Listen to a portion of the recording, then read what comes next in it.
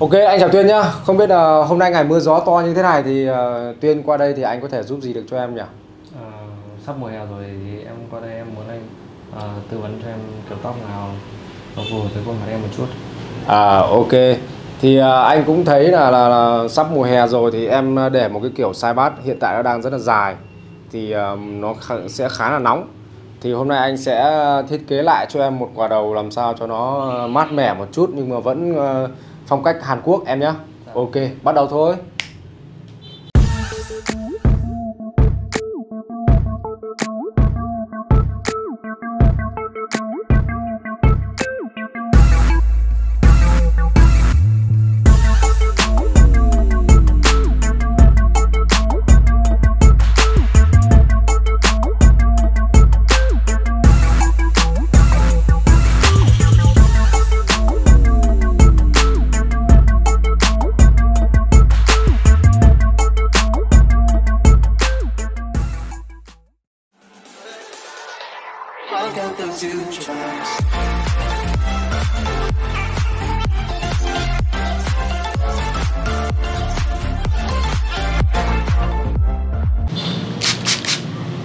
Ok, đầu tiên là xử lý ờ, cái quả đầu này ấy, thì ờ, mình sẽ ờ, kẹp hết lên tóc phần top lên. Chia cho nó rõ ràng ra anh em nhé. Và quả đầu này mình sẽ quyết định là mình sẽ cắt ngắn phần trên top này để sang kiểu layer. Trước bạn đã để kiểu side bát thì nó khá là dài. Để sang kiểu layer ngắn ngắn xong rồi ép size xung quanh này. Cho nó về phong cách Hàn Quốc cho nó mát mẻ một tí. Layer ngắn anh em ạ. Để làm được cái điều này thì đầu tiên là chúng ta sẽ đi chia những cái đường line này. Làm sao phân tách cái phần top cũng như là phần size làm sao cho nó rõ rệt. Cái việc kẹp à, này thì nó cũng khá là đơn giản thôi. À, nhưng mà đối với những anh em mới thì cố gắng là là là à, hầu như là các bạn à, tìm đến mình mà học cơ bản hoặc là học nâng cao lên đấy thì hầu như là các bạn vẫn còn đang gặp rất nhiều khúc mắc trong cái khoản mà chia đường chia lối này. Đấy. thì mình cũng hy vọng là à, qua những cái video mà mình chia sẻ trên YouTube này thì à, mình hy vọng là các bạn sẽ Ờ, học tập chỉn chu và cũng như là trau chuốt hơn trong những cái cái cái khoản uh, chia đường chia ngôi này. Bởi vì những cái đường chia này nếu mà nó sắc nét ấy, thì sau này chúng ta làm nó rất là dễ. Chúng ta mà làm cầu thả ảo ươm ấy mà nhanh nhanh chóng chóng ấy thì sau này cái lúc mà chúng ta làm lại những cái tác phẩm như này nó rất là nó rất là mất thời gian. Đấy nó rất là mất thời gian và nhìn nó sẽ không được thẩm mỹ. Đấy sau khi mà anh em đã chia xong thì tốt nhất là mình sấy cho nó khô khô bớt đi một chút cái phần sai. này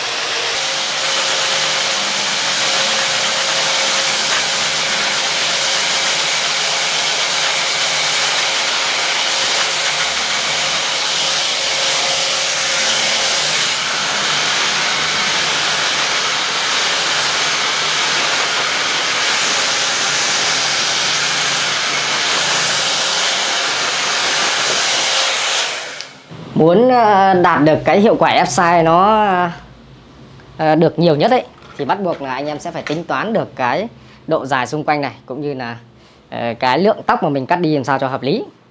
Ở đây cái phần tóc này của bạn ấy đã đã từng tẩy rồi. Thế nên khi mà chúng ta mà ép sai vào ấy thì nó sẽ rất dễ là nó bị làm sao sẽ bị uh, sun lại và bị cháy. Đấy, thế nên là anh em cần phải loại bỏ bớt nó đi. Và vừa nãy tóc của bạn ấy rất là nó bù xù lên nhưng mà vừa nãy mình đã loại bỏ đi một chút rồi. Thì hiện tại nó vẫn còn rất là xù nhưng mà à, tí nữa ép sai vào thì anh em sẽ thấy được cái hiệu quả của nó như thế nào anh em nhé. Đây mình à, đi lại một chút đi lại một chút độ dài để cho anh em có thể là là, là tham khảo cũng như là để à, thấy được. Cái độ dài lý tưởng để mà chúng ta có thể đi ép sai là từ 2 đến 4 cm anh em nhé. Còn ví dụ nó, nó, nó tầm 5 cm trở lên ấy, thì bắt buộc là chúng ta sẽ phải có cái cách trải khác. Đấy lúc đấy mình sẽ phải trải theo một cái cách khác. Còn à, từ 2 đến 4 cm thì mình sẽ ừ, trải tất cả đều lên toàn bộ. Còn từ 5 cm trở lên thì mình chỉ trải vào chân thôi còn cái ngọn mình không được phép trải vào.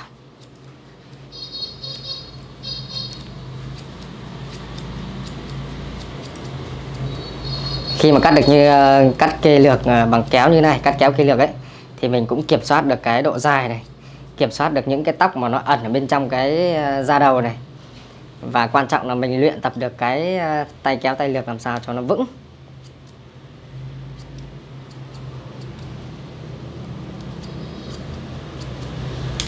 Đó. Khá đơn giản. Đây là cái độ dài hai bên mai này là độ dài mà mình chưa động gì đến. Nghĩa là lần trước người ta cắt như thế nào thì lần này mình để nguyên như vậy bởi vì mình đã nhận thấy được là cái độ dài này nó vừa đủ để ép sai.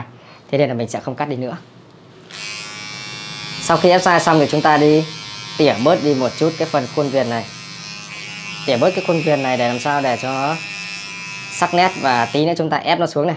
Ép nó xuống như này, đúng không? Thì những cái tóc này nó không bị chạm vào viền tai, nó sẽ không bị dính ờ, thuốc vào, nó sẽ không bị bẩn, anh em nhé cái quan trọng nhất là tí nữa nó không bị bẩn và nó không bị dính thuốc. Đấy là cái quan trọng nhất.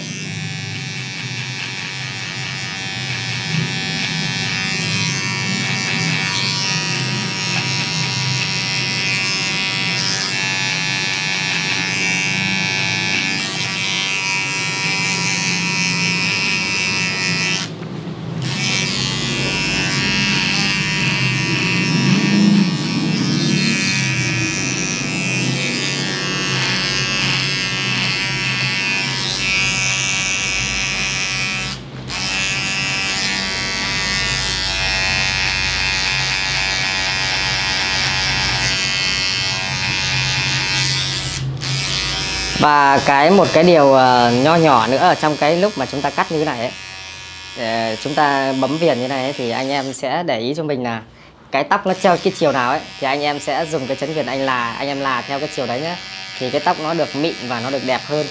Tránh tình trạng là chúng ta ví dụ như tóc nó đang mọc ngược nó đang mọc xuôi xuống như này mà anh em đi bấm ngược này như này ấy thì rất dễ là nó xảy ra cái tình trạng là cái sợi tóc nó bị thọt nhá đấy nó cũng là một cái điều lưu ý nhỏ nhỏ. Ví dụ cái đoạn này nó xuôi xuống thì anh em bấm nó xuôi xuống như này. Đấy, thì cái sợi tóc nhìn nó sẽ được ôm và đẹp nhất. Đấy.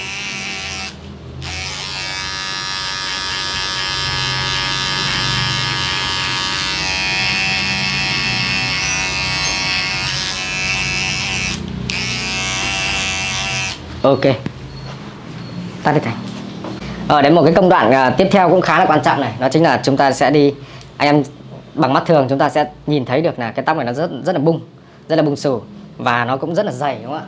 Thì cái việc tiếp theo chúng ta cần phải làm đó chính là chúng ta tỉa cho nó bớt đi tỉa cho nó thoáng cái nghĩa là cho nó rộng ra cho nó rộng ra để tí nữa chúng ta bôi thuốc vào nó có cái nó có cái khoảng trống để cho nó xẹp bớt xuống. Đấy. Tỉa đi có rất nhiều anh em hỏi mình cái cây kéo tỉa này thì đây là mình bật mí luôn là cái cây này là của Akafuji, của Vico anh em nhé đấy. Nên dùng một cái con kéo tỉa như thế này thì nó sẽ đảm bảo được.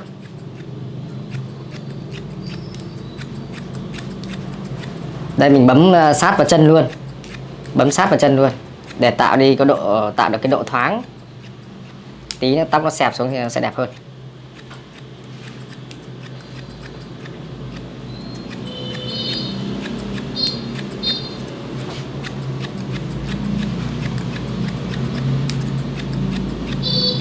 Tạo được độ thoáng rồi thì tí nữa nó nó nó cũng đỡ tốn thuốc hơn em nhé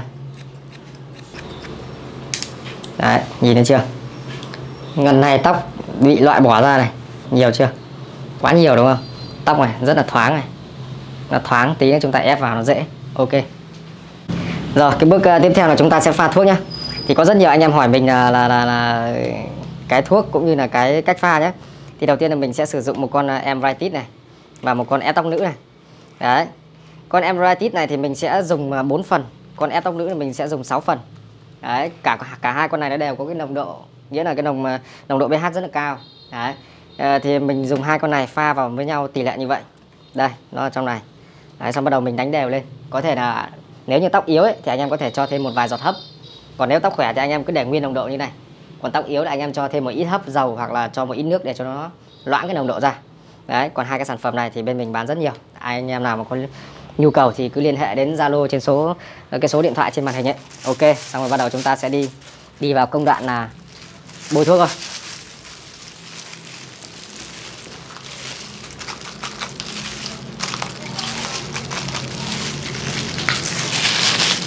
Ok, bôi thuốc ở đây thì à, mình cứ làm thế này thôi. Đầu tiên là mình sẽ đi đều một cái lượt thuốc đều xung quanh tất cả bộ, toàn bộ đầu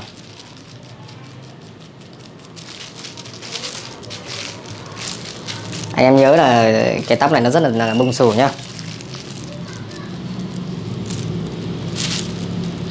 Tí nữa chúng ta sẽ cùng xem cái hiệu quả của cái sản phẩm này nó sẽ như thế nào. Trước khi làm thì mình nhận định đây là một cái chất tóc khá là ăn thuốc nên là mình trả cái mật độ thuốc nó cũng vừa phải thôi không cần nhiều quá anh em nhé và trong cái quá trình anh em làm việc cũng vậy ấy, mình phải nhận định được xem là cái tóc nào nó là cái tóc ăn thuốc cái tóc nào là cái tóc không ăn thuốc. Thì từ đó anh em sẽ đưa ra được cái giải pháp cũng như là cái cách làm cho riêng mình. Chứ không phải là tóc nào nó cũng như tóc nào đâu nhá. Mỗi một loại tóc chất tóc đấy, mật độ phân bố tóc trên ờ, da đầu ấy chúng ta sẽ đưa ra từng cái cách làm nó khác biệt đi. Đấy, chứ không phải là tóc nào cũng như tóc nào sau khi mà trải xong được như thế này rồi thì bắt đầu là chúng ta sẽ sử dụng một cái con à, lược đuôi chuột như thế này. Đấy lược đuôi chuột này. Mục đích để làm gì? Mục đích là là, là mình tách cái lớp này ra cho nó dễ. Đấy, tách lớp này ra.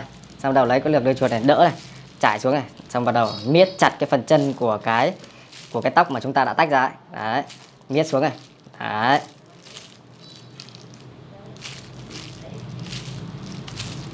Cho nó vào đi tắt tắt tắt. Đấy, thì cái ờ, cả một cái đoạn đoạn gáy như này thì mình cứ chia làm đôi. Xong bắt đầu là tách bên này trước, xong bắt đầu sang đến bên kia. Thế nó dễ.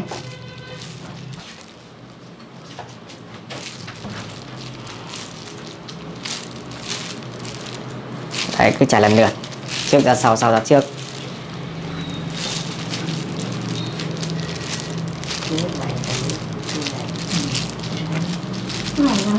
Và cái quan trọng nhất đây là cái ờ, tóc này của khách hàng đã từng ờ, làm hóa chất rồi, cũng như từng nhuộm màu rồi thì bắt đầu thì thì anh em phải căn làm sao cho nó phù hợp. Cái tóc nào mà đã làm hóa chất rồi thì cái thời gian sự ờ, cái thời gian mình lưu thuốc số 1 đấy nó cũng sẽ nhanh hơn cái cái bình thường nha anh em nhá. Thứ nhất là cái thời gian lưu này, cái thứ hai là cái cái cái nhiệt độ này, mình không cần phải để ý đến nhiệt độ này cái, cái thứ ba là trong cái bát thuốc số 1 đấy mình sẽ cố gắng làm sao mình cho thêm một chút dầu hấp hoặc là là là, là tinh dầu dưỡng chất vào để cho nó đảm bảo được cái độ à, đanh dai của tóc sau này. Bởi vì anh em để ý nhá chúng ta làm một lần không phải là làm một lần cho khách hàng mà chúng ta sẽ phải làm những cái sản phẩm tốt nhất để chúng ta có thể là cái khách hàng đấy của người của mình ấy người ta quay lại nhiều lần. Chứ đừng vì tham một vài đồng tiền mà chúng ta làm một lần xong rồi khách người ta chạy mất dép là thôi đấy phải để ý được cái điều đấy. Cố gắng là làm bằng cái tâm. Làm bằng những sản phẩm. Không tốt nhất thì cũng phải tốt trung bình một chút. Đấy, tách nó ra xong bôi sát vào. Đấy, đây là cách ép sai đây nhé duy trần. Kèm về sớm một chút thì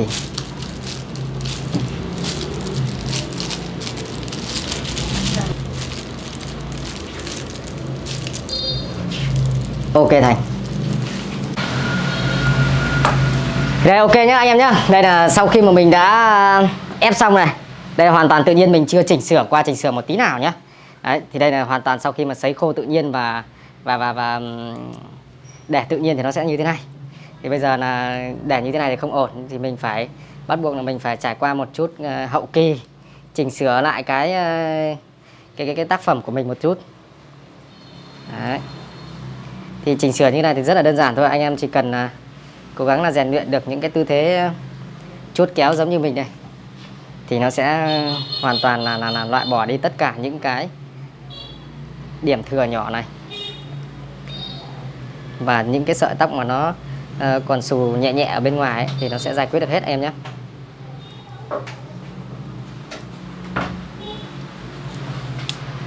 Cái quan trọng nhất là là là chúng ta ép sai ép sai xong ấy, thì bắt buộc là chúng ta phải chỉnh sửa được, chỉnh sửa lại được những cái tóc xù, những cái tóc mà nó còn thừa ra ấy. Bởi vì không có một cái thuốc ép sai nào mà nó ép được phẳng mịn 100% đâu. Mà nó phải trải qua à, cái quá trình mà mình chỉnh sửa, mình là lại cho nó bớt những cái sợi tóc xù đi một chút thì nó sẽ được đẹp nhất, anh em nhé. Thì bước này thì cứ bằng cái kỹ năng nghiệp vụ à, của mình mà anh em à, làm cho nó hợp lý. Công đoạn này nó như kiểu là cái công đoạn nhặt sạn ở trong à, phết anh. Nó giống như nhặt sạn trong phết đấy. Tỉ mỉ một chút thì sẽ được kết quả đẹp.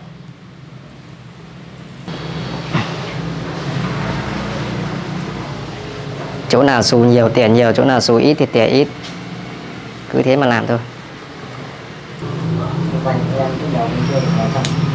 ừ nó lại lé vào đây đấy.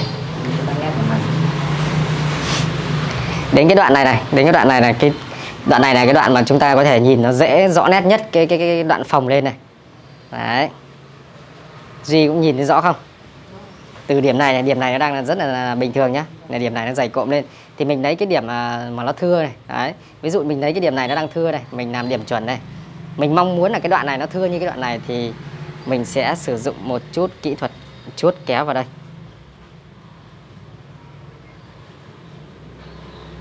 Cứ nhớ là lấy cái đoạn này để làm chuẩn nhé. chuốt đi một chút cái bề mặt này. Để cho nó làm sao? Cho nó tạo đi cái độ tự nhiên cho mái tóc.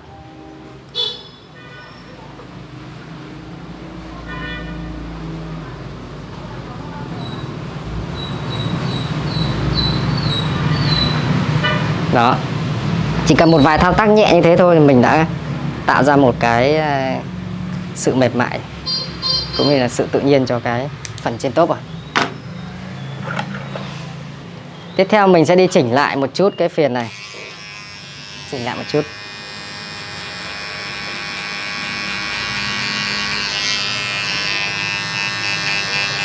Ai cắt đầu kia đấy? Ừ.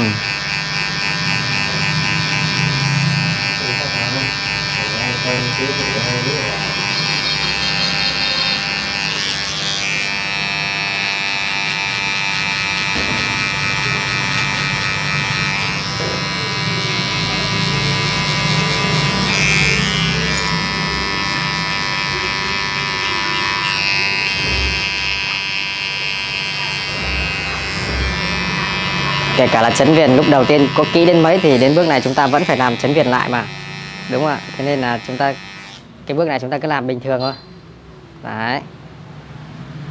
Cái bước uh, chấn viền đầu tiên ấy, chúng ta cứ làm bình thường thôi. Đến cái bước này chúng ta mới cần nó kỹ càng cần cái độ sắc nét này. Đó. Đấy cái phần gáy này. Vừa nhìn nó xù ra nhiều không? Bây giờ nó thay đổi nhiều không? Đấy. mình còn chưa cần làm một chút nào nhé bây giờ mình chỉ cần mình đi mình bấm lại một chút. Cho nó sắc nét là được.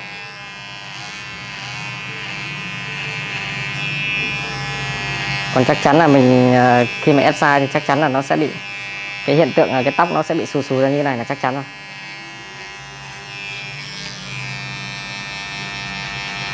Những cái sợi tóc xù xù này thì tí chúng ta chỉ cần là tông đi một chút thôi là nó hết ngay lập tức.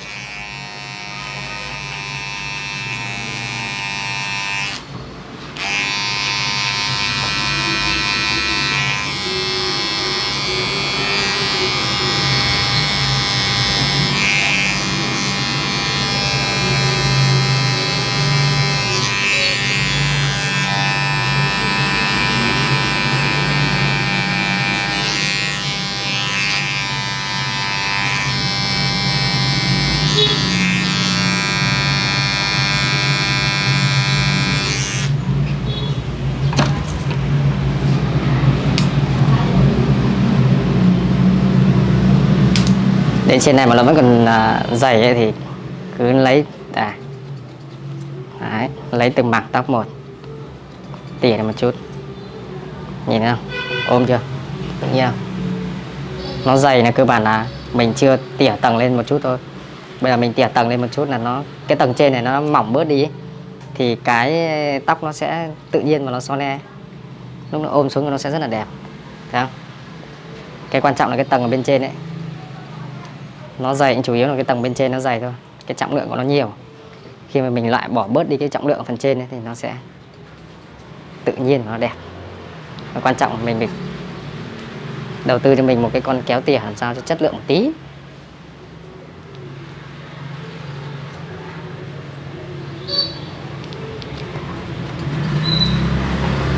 Thấy con kéo tỉa nào? Không giật một tí nào luôn. Tỉa nó không bị giật đấy thì nó sướng tiền mà nó bị giật ấy thì nó hơi hơi, hơi bực mình.